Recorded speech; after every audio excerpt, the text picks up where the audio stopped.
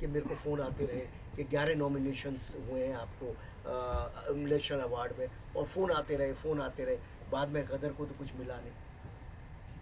गदर को तो कुछ मिला नहीं, एक भी अवार्ड नहीं मिला, ग्यारह नॉमिनेशन थे। तो भाई ठीक है। अब शायद इस बार लोगों के मन बदल जाए दे दें हमें क्योंकि हमको तो इस लायक समझा ही नहीं।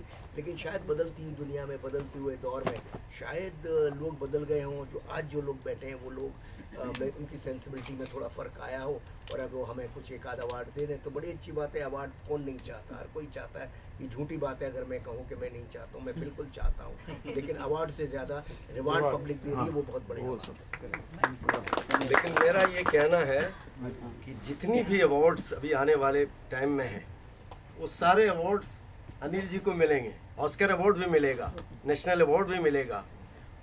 मैं तो ये भी प्रे करता हूँ कि दादा साहब फाल्के अवार्ड भी मिलेगा। वाह वाह वाह जी जी।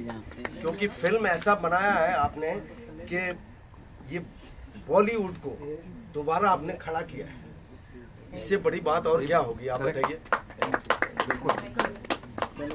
Thank you